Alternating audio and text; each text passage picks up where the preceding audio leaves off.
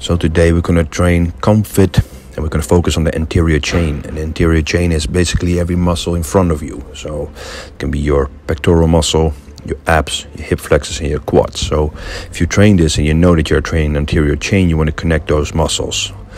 So it's good to know before what you're going to train so you can focus on the connection between that muscles.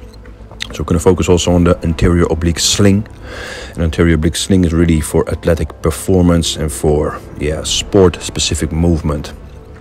So the anterior oblique sling consists of the external and internal obliques and the opposite side adductor muscle and the connecting adductor abdominal fascia. If you train, for example, the chest, you want to connect the chest, so you want to squeeze the muscle of the chest, you want to connect it with your core, and you want to get the other side adductor involved. So if you notice, you can now focus on your exercises by doing this. And the movement you specifically need for fighting is going to be in the sagittal plane and in the transverse plane.